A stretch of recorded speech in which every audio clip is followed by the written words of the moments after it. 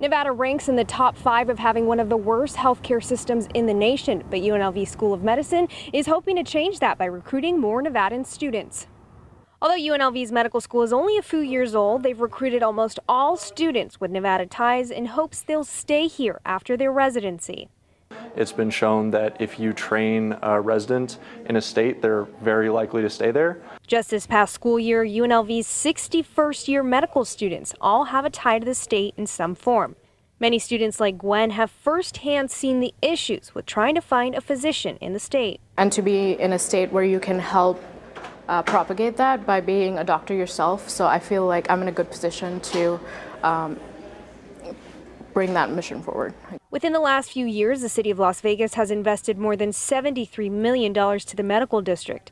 This area has more than 252 acres of hospitals, medical schools, and healthcare offices. Its location has helped bring more resources to the medical school. So it's good to learn what's around here so when we do become physicians, we know where to send them, where to refer them, and also see where the shortages are so we can work on that.